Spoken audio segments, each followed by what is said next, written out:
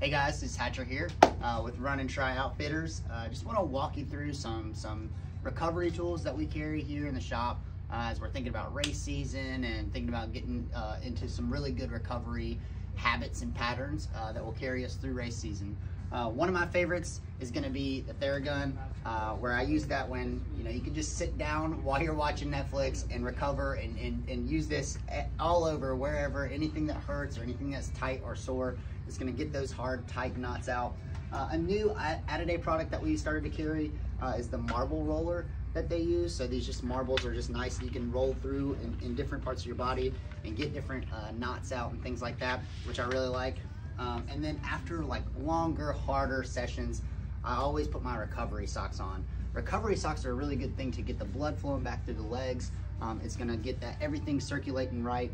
Um, and it just is something that I, I normally tend to do after some harder or longer workouts. Um, some other things that we carry in the shop uh, that are really nice to, to use as you're, you're, you're thinking through recovery. Uh, it's definitely gonna be a hand roller. So you can see we've got different, different uh, hand rollers here. One of my favorites is the newer one that we start we, we started to carry with the different um, knots on there, the different types.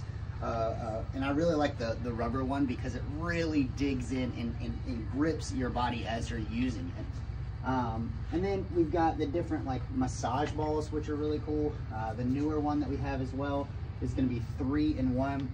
You've got a soft ball, a medium firm ball, and then a very hard ball. And they're all gonna, uh, you know, hit different muscle groups as you're rolling them through your back, maybe your glutes, uh, even your arm as this picture here. There's plenty of ways to use this. And remember, recovery is a full body thing, and it's just as important as some of your workouts are.